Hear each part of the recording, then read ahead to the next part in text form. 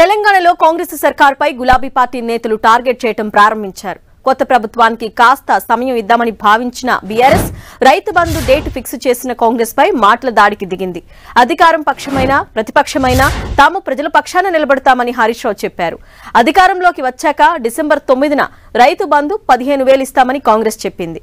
దీంతో రైతు బంధు ఎప్పుడిస్తారో చెప్పాలని హరీష్ డిమాండ్ చేశారు. బోనస్తో వడ్లు కొనుగోలు చేస్తామని కాంగ్రెస్ నేతలు ఎన్నికల ప్రచారంలో చెప్పారు. ఐదు వందల బోనస్తో వడ్లు ఎప్పుడు కొంటారో చెప్పాలని డిమాండ్ చేశారు. ప్రభుత్వం నుంచి స్పష్టత కావాలన్నారు. తాము అధికారంలో ఉన్నప్పుడు నవంబర్ చివరి వారం డిసెంబర్ మొదటి వారంలో వేశామని గుర్తు చేశారు. కానీ ఇప్పుడు ప్రభుత్వం ఇచ్చే రైతు భరోసా ఎప్పట్లోగా ఇస్తారో స్పష్టత ఇవ్వాలన్నారు. హరీష్ హామీలపై ప్రశ్నించడంతో అదే రీతిలో మంత్రులు కౌంటర్ ఇచ్చారు. తొమ్మిదేళ్ళ బీఆర్ఎస్ పాలనలో రాష్ట్ర పరిస్థితి అస్తవ్యస్తంగా మారిందని ఆరోపణలు చేశారు. తెలంగాణను అప్పుల పాలు చేశారన్న మంత్రి పొంగులేటి విమర్శించారు. బీఆర్ఎస్ పాలనలో చితికిపోయిన రాష్ట్ర ఆర్థిక పరిస్థితిని చక్కదిద్దే పనిలో పడ్డామని మంత్రి జూపల్లి అన్నారు. మరోవైపు రాష్ట్ర అప్పులకు సంబంధించి శ్వేతపత్రం విడుదల చేస్తామని మంత్రి పొన్నం ప్రభాకర్ చెప్పారు. ప్రతిపక్షం నుంచి విమర్శలు ప్రారంభం కాగానే మంత్రులు అతి వేగంగా కౌంటర్ అటాక్ చేస్తున్నారు.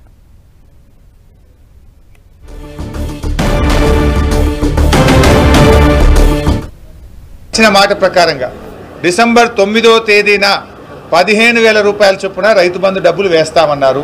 మీరు ఏదైనా ప్రకటన చేస్తారనుకుంటే రైతుల విషయం మీద ఎలాంటి ప్రకటన ఇవ్వలేదు. పదిహేను వేల రూపాయల చొప్పున అంటే యాసంగి పంటకు ఎకరానికి ఏడు వేల ఐదు వందల రూపాయల చొప్పున రైతులకు డబ్బులు ఇవ్వాలి. మీరు ప్రజలకు మాట ఇచ్చున్నారు. డిసెంబర్ తొమ్మిదవ తేదీన పదిహేను వేల చొప్పున రైతు బంధు డబ్బులు బ్యాంకుల్లో వేస్తామని ప్రజలకు మాట ఇచ్చారు ఈ రైతులందరూ కూడా ఎదురు చూస్తూ ఉన్నారు. ప్రజలకు ఇచ్చిన మాట రైతులకు ఇచ్చిన మాట ప్రకారంగా రైతు బంధు డబ్బులు ఎప్పటి నుంచి వేస్తారో రైతులకు స్పష్టత ఇవ్వాలని తెలంగాణ రైతాంగం పక్షాన నేను మిమ్మల్ని అడుగుతా ఉన్నా. మాజీ మంత్రులు. మాజీ మంత్రులు అధికారం కోల్పోయినాక కూడా విచక్షణ కూడా కోల్పోయినట్టు అయిపోతున్నట్టున్నది ఒక ఆయన అంటాడు ప్రభుత్వం కొలగొడతా అంటాడు ఆయన ప్రొఫెసర్. ఇంకొక ఆయన అంటే రెండు రోజులు ఉంటుందో అని ఇంకొక పార్టీ ఆయన అంటాడు. అరే కనీసం మీ లెక్క మేము గతం ఏం చేసింది? గతం మీ మీద నెట్టే విధంగా చేస్తలేం.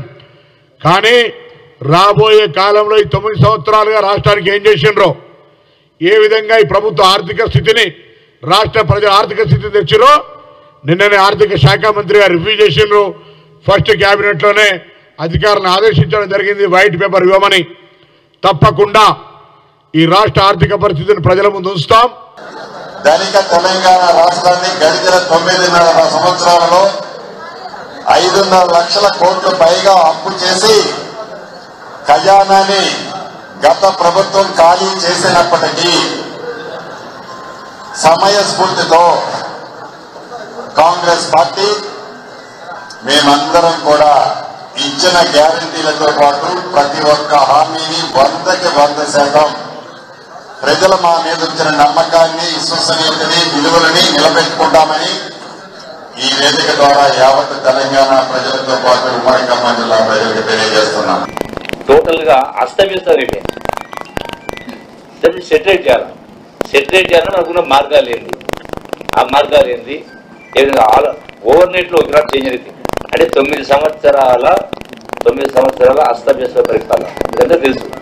ధనిక రాష్ట్రం పోయి ఐదు లక్షల కోట్లు అప్పులు రాష్ట్రం అయినా జీతాలు ఇవ్వలేని పరిస్థితి. అయినా పనిచేసిన వాళ్ళకి బిల్లులు ఇవ్వలేని పరిస్థితి. అయినా వేల కోట్ల రూపాయలు భూములు అమ్మడం.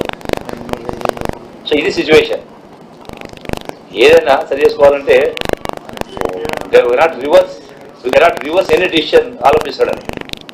But see the alternatives